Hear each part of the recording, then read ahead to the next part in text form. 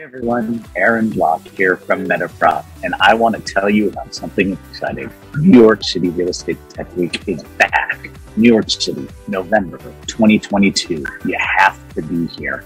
Not only do we have tons of events throughout the week for the most interesting startups, innovators, technology companies, venture investors, and the real estate industry, but we have the latest iteration Propel by MIPIM in partnership with MetaProp. You're going to get better places, greater impact, stronger business opportunities when you come to Propel and to New York City Real Estate Tech.